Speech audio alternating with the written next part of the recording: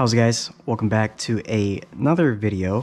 If you already watched this video of me installing my strut bar, you're probably wondering why I'm re-uploading it. This isn't the way you're supposed to be installing the strut bar. It actually goes in like this. Before we install it this way, the correct way, I just want to explain why I installed it this way. So first off, when I got this in the mail, this Ultra Racing sticker or the badge, it was, you know, facing this way, the letters like this, which got me thinking, okay, so this is probably how you install the strut bar so that I, so that, you know, I'll be able to read the badge. Another reason why I did not install it this way is because it's hitting the cowl and I was just like, no way, it's like this is the way to install it because everything's just getting in the way.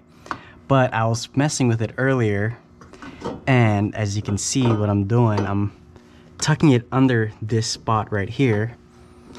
And you just gotta like finesse your way into it. The cowl is flexible, so don't worry about you know, breaking it or damaging it or anything. As you can see, I finessed it in there. All the holes lining up. And yeah, we're just gonna try and finesse this thing down. It does look a lot cleaner this way. As you can see, like the bar just kind of tucks in there and you're able to access you know everything over here your battery if you need to. Sorry for installing it wrong the first time. Simple mistake simple fix. Try my best to uh, install this thing. I'm gonna move the spacer back here and then tuck the bar in first. All right that one's in that one's in. Put this nut on first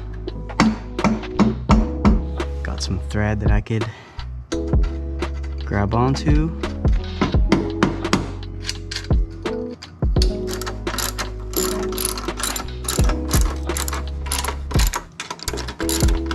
All the nuts are tightened down, hand tight.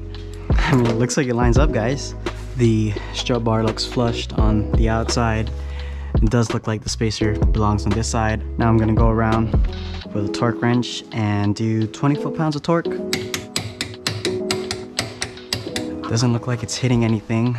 Yep. I'm such a freaking dummy for installing it wrong the first time, but it is what it is. It happens. Simple mistake, as you can see. Simple fix.